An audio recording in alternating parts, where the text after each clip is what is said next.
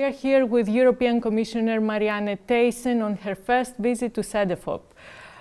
Commissioner Thyssen, uh, I would like to welcome you to CEDEFOP and uh, thank you for being here and talking to us.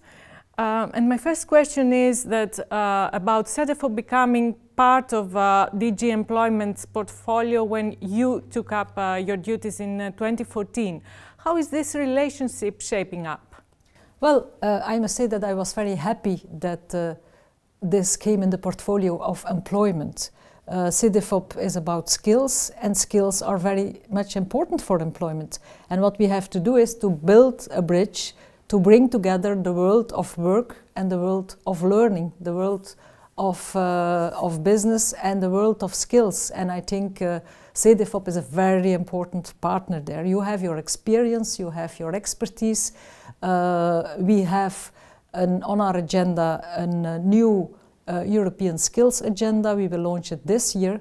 And I really, I'm happy that I can count on this expertise uh, we really value your expertise and your experience, and uh, I hope that we con can continue as we started one year ago. Uh, it means that we continue to work in a very good relationship. Uh, we'll come to the skills agenda uh, a bit later, but first I would like to ask you about the 40 years that CEDEFOP celebrated in 2015. And uh, then you told us that uh, you feel that CEDEFOP is more relevant than ever. Uh, how do you see its role being reinforced in the coming years? Well, what we see, I think skills are more and more important. Uh, the more I go in depth in my dossiers, the more I speak with people all over the place in Europe, I see that skills is really one of the most important tools we have. We live in an ever faster changing world. It's about uh, demographic change, it's about globalization, it's about digitalization. And what you see is that this has a huge influence on the way society is organized, but also on the way of work, on the economy. And we have to take care that this, this, the right skills are there to stay competitive. People must have the right skills to be able to enter the labor market, to flourish on that labor market, also for their personal happiness. But uh, employability, skills for employability, this is more and more important. And that is something that we really have to stress. And employability, for some people in the past, it was a kind of a dirty word. For me, it's not at all. The work, labor is a dimension of people's life. Having a job is the best protection against poverty it's the best way to be integrated in uh, economy but also in society. So having the right skills is very important. And again there, CEDEFOP is our preferenced partners to help us with uh, underpinning that policy. And obviously, employability and employment is one of the top priorities of uh, the Juncker uh, Commission. Absolutely. We had in our mission, the, the, mission of the whole college, not only of me as the Commissioner for Social Affairs and Employment and Skills, uh, the mission of the whole college is about jobs, growth, uh, democratic change, and, uh, and skills. This is really uh, what it's all about. And the new skills agenda, which uh, uh, will be launched uh, in the coming weeks, uh, is one initiative in that direction. Uh, how can uh, CEDEFOP contribute? It has already contributed to drawing up the agenda, but how can it also contribute in its in implementation? Well, the, if, I, if we look at the three main strengths of this agenda, then we see that it's really about uh, what uh, CEDEFOP is really doing. Uh, and that's why, of course, we were happy that we could count on CEDEFOP's expertise and CEDEFOP's input and uh, inspiring documents and uh, exchanges of view to, uh, to prepare this agenda. But the three main strengths is, first of all, we want to skill people, to upskill people, lifelong learning, uh, reskilling, uh, because they need, they will have more transitions in their lives and they must have the right skills at the right moment. A second strength is about transparency, recognition, visibility of the competences people have. They have skills, sometimes they gained it in an informal environment. Uh, many people come from abroad, from third member states, or even when they go cross-border within Europe, you must, we must ensure that the skills people have are visible and are comparable. And this is also a very uh, a, a, very huge uh, part of your work in CEDEFOP.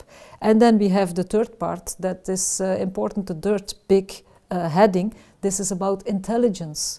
What are the trends? What are the skills we need in the future? And there we know for sure that it is not something about one size fits all. Um, as the director uh, of CEDEFOP told me, we have to go into the countries, we have to look what's locally going on. So skills intelligence must be done in a smart way and also this is something where we can count on the expertise uh, and the input, of course, the work, the hard work of the people of CEDEFOP. Uh, a group of people that uh, uh, need to have uh, access to new skills or to have their skills recognized is the refugees, migrants uh, that um, uh, obviously now are uh, a very hot topic in Europe. Um, what steps is the Commission taking towards that direction and how can CEDEFOP contribute uh, here as well? Well, I think uh, what we have to do, or what I said already from the first moment we saw this huge inflow of uh, refugees and migrants, is that it is very important that they have access to the labor market.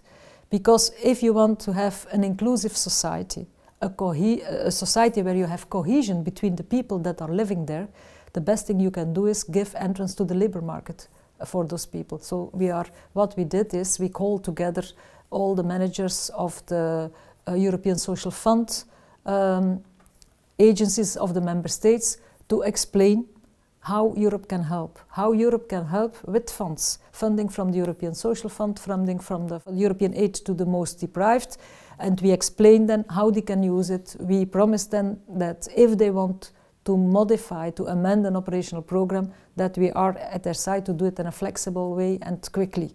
So we can help with funds, we can help with uh, influencing member states or asking them to give them access to the labor market as soon as possible. But of course, we have then the skills question. Everywhere when you talk about labor market, economy, competitiveness uh, and integrating an, an, inclusive society, skills comes at the forefront. And here CEDEFOP can of course be of great help. Uh, we have among the refugees many young people. They have to go back to school. Sometimes during two, three years they haven't been in school anymore. They have to go back to schools, they have to be skilled. The adults probably have to be reskilled, they have to learn the language, but also uh, to be skilled, to be uh, able to entrance and to be useful in the labor market of Europe. And of course, this uh, recognition of skills, this um, visibility, this comparability, there also with the tools Euros, uh, CEDEFOP has, uh, I think we can use them very much also to host the refugees in a proper way. And last but not least, uh, vocational education and training um, sometimes has a, a, rather negative connotation. Uh, it hasn't been the first choice uh, in many uh, countries in the past. You've said that we have to make it a first choice. How can we make that happen? I'm absolutely convinced that vocational education and training must be a first choice and not a second option. It is not such a thing that you in the end start after you have failed in other things that you didn't probably like. Uh, we need people that have a good vocational education and training if we want to be competitive, if we want quality of living uh, for all the people in the society. We need these people and we have to show more respect, more respect, more quality uh, of, of VET, of course, also.